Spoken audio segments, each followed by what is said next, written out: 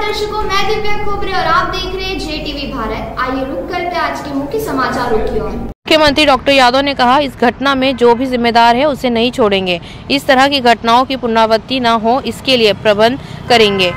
मुख्यमंत्री ने कहा, इस मामले में जाँच के आदेश किए जा चुके हैं। दुख की इस घड़ी में पीड़ितों के साथ प्रदेश सरकार खड़ी है। प्रशासन इस तरह की घटनाओं को सख्ती से रोके इसके लिए आवश्यक प्रबंध करेंगे। सड़कों पर इस तरह के जो डेंजर जोन है, उनको भी चिन्हित करेंगे।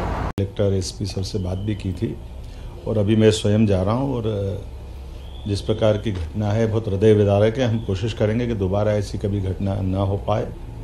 और मैंने कल रात को जाँच के आदेश भी दिए अभी कोशिश कर रहे हैं कि बस का अगर परमिट नहीं है तो बस कैसे चल रही थी? या जहाँ से ये टर्निंग पॉइंट है आमने सामने की टक्कर हुई तो वो ऐसे डेंजर जोन जहाँ जहाँ भी हो।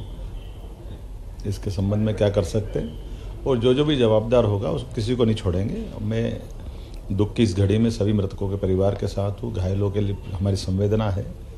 और उम्मीद कर रहे हैं कि प्रशासन पूरी मुस्तैदी से ऐसी कोई भी घटना होगी तो आगे उसको बहुत सख्ती से रोकेगा भी सही और भविष्य में ना हो, इसके प्रबंध भी करेगा।